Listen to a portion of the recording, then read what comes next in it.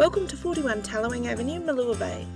Inspired by the glorious Australian coastline, this five bedroom clifftop home is a sophisticated and luxurious retreat that reflects a magical merging of inspiration and architecture.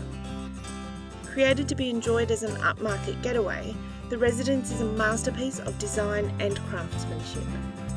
The floor to ceiling windows not only maximise the natural light throughout the home, they also allow for the sensational and breathtaking views of the Malua Bay beach and ongoing coastline to be enjoyed from almost every room in the house.